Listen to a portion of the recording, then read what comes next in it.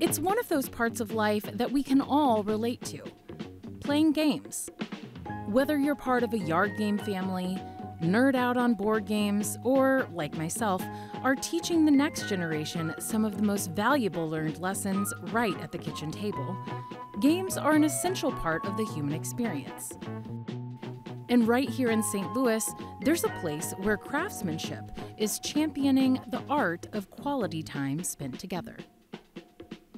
Across the Board started about 15 years ago. Uh, my husband Ryan and I um, attended a after a dinner party and we played a horse racing game. And we had a whole lot of fun playing the game. However, my husband thought he could improve the design of the game, he could improve um, the odds, the way it was played. So he started tinkering around in our garage uh, the next day and he designed what is our current deluxe horse racing game. What started as a fun hobby for Kim and Ryan just to gift to their family and friends soon turned into a way to supplement their income.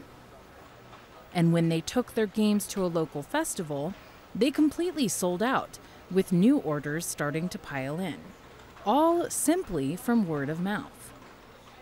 Somebody would take our horse racing game to a party and they would play it, and the next morning, two people would order it. So we, we worked out of our home, out of our garage, uh, making games for about four to five years, and it was just the two of us. He would make them in the garage, he'd bring them into the living room, I'd sit on the ground with our little kids and pound away and put the games together. Then um, we just took a leap of faith. We decided we kind of had something here.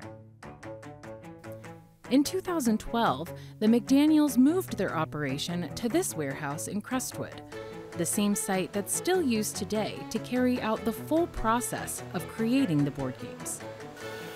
From cutting and sanding, to printing their custom designs, to placing each intricate little detail. They evolved from a two person operation to employing 30 dedicated workers that maintain the same sense of perfectionism that Ryan implemented from the beginning. However, despite achieving tremendous success, Across the Board has lost a major player. In 2013, um, Ryan, my husband, was diagnosed with um, stage four colon cancer at age 42. And so, um, with three small kids and a business that we both was our livelihood, um, it was it was scary. It was really scary. He was diagnosed in September of 2013, underwent treatment for 20 months, and he passed away in May of 2015. So then it was a big decision. Do, do we continue with across the board um, as a single mom of three small children, or do I work where financially it's a little bit more stable and a little bit easier for all of us. But I decided I wanted to be able to pick the kids up from school and I wanted to attend their different school activities and I wanted to be more accessible for them. And I wanted to see Ryan's dream come true. And the kids were on board with that. With his creation of the signature horse racing game, one of Ryan's dreams was for it to become licensed as the official horse racing game of the Kentucky Derby.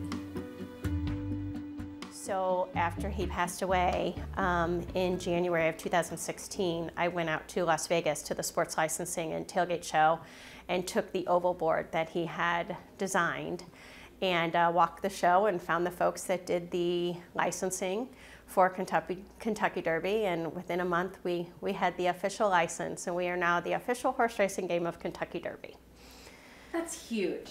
It was big. It was it was so exciting and so bittersweet. Like right. you know, want, wanted him to to see that. Um, but we do put his initials on every single game um, that we make, every single Kentucky Derby game, as a tribute to him and um, his dream.